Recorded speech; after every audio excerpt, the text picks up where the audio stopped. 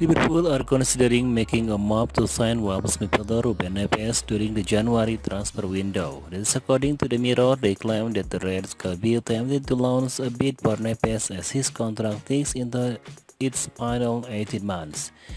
Jurgen Klopp is signed to be a big admirer of the Portugal star, has been at Wolves since 2017 and with the beyond to be agreed on an extension. His current club are signed to be aware that his price tag is falling with every week.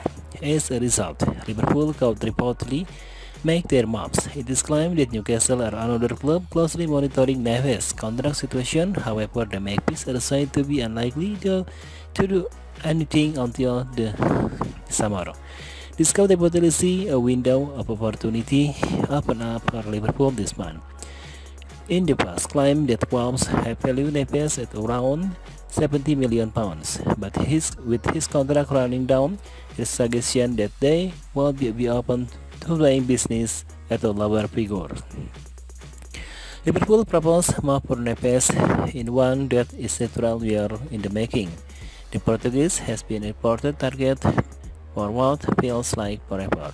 The difference this time now it is that Liverpool really don't need a uh, midfielder and Neves could be on the, the market.